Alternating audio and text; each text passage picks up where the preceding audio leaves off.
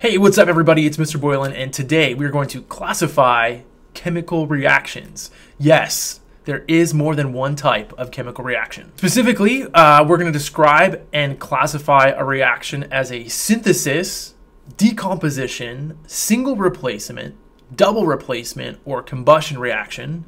And then to get even more nitty gritty, we're going to describe and classify a precipitation and acid base reaction as a specific type of that double replacement reaction.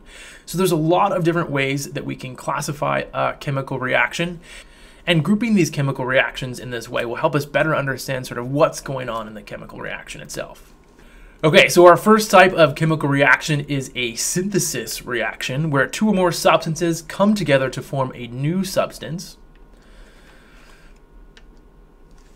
As you look at your screen there, you've got a general formula for a synthesis reaction in which you have two or sometimes three or sometimes four.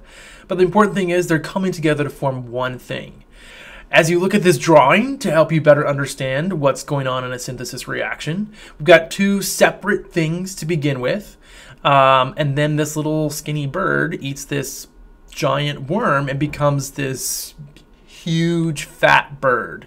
In other words, two small things come together to form one large thing. Synthesis reaction. Now, let's take a look at some chemical reactions um, that are maybe not birds and worms.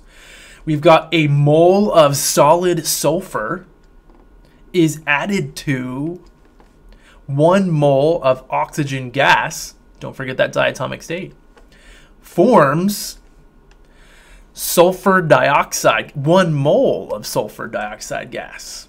Synthesis reaction. Two small things come together to form one big thing.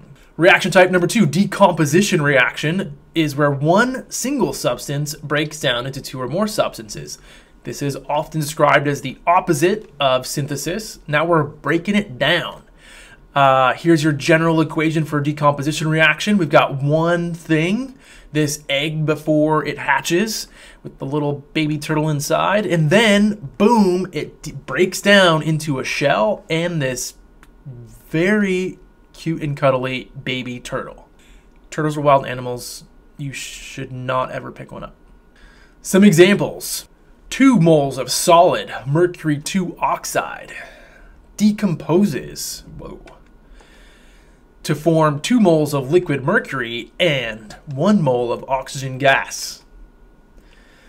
Reaction type number 3, a single replacement reaction, is where one element, single element, replaces another one in a compound.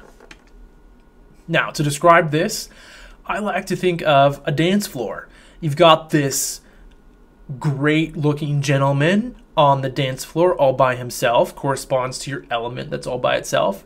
And you've got this great looking couple on the dance floor as well, corresponds to that compound. Uh, but as you look at what happens here, this gentleman with some amazing dance moves comes in, kicks this guy to the curb, single replaces him. And now our original element that was by itself is now part of a compound and it has kicked what was part of the compound, the element was part of the compound, out to the curb by itself. Single replacement. Let's do an example. We've got 2 moles of solid aluminum plus 3 moles of liquid water forms 1 mole of solid aluminum oxide and 3 moles of hydrogen gas. Uh, again, recognize here the aluminum is the element it displaces the hydrogen, kicks it to the curb so that hydrogen is by itself. Reaction type number four, a double replacement reaction. It results when the ions of two compounds exchange places in an aqueous solution to form two new compounds. So we're talking about when we've dissolved two things in water. A great way to understand double replacement reactions is to think of these gentlemen and their hats. As you look at the general equation here, we've got two compounds, and essentially they switch hats. So A starts with B and ends up with D. C starts with D but ends up with B. Now we've got a couple specific types of double replacement reactions. Uh, the first of which is known as a precipitation reaction, which is going to occur when we have the formation of a precipitate or a solid. It's just a specific type of double replacement reaction. As we look at an example of a double replacement reaction that is in particular a precipitation reaction, however, recognize that this is a precipitate that has formed. How do I know this is the precipitate? Well, what is a precipitate? It is a solid. Uh, these other ones are aqueous, which means that they are still dissolved in water. A second specific type of double replacement reaction is known as an acid base reaction. And this occurs when an acid and base are mixed to form water and a, a salt. This is also known as neutralization. Now, we'll talk a lot more about this type of reaction when we discuss acids and bases. But what you're going to be looking for in an acid base neutralization reaction is the formation of water and a salt. But notice again here we have a double replacement. We have essentially a switching of the partners here, a switching of the hats. Additionally, again, keep in mind we're forming a salt in an acid base neutralization reaction. Doesn't always have to be sodium chloride as we'll learn. Okay, and our last type of reaction is a combustion reaction. Uh, this is a substance that combines with oxygen, releasing a large amount of energy in the form of light and heat. This is everybody's favorite chemistry reaction. We get to do a lot of these. It's a lot of fun.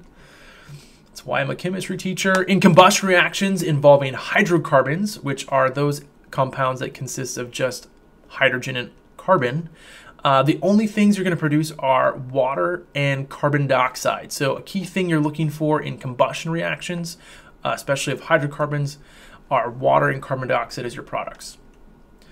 So here are a couple examples of combustion reactions. Uh, these are your hydrocarbons. They are compounds that consist of just carbon and hydrogen.